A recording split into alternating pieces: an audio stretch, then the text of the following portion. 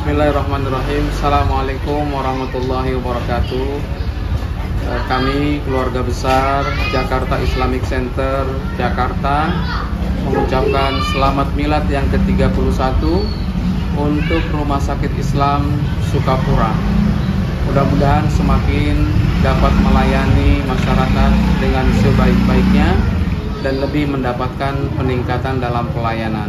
Semoga Allah memberkahi kita semua. Assalamualaikum warahmatullahi wabarakatuh.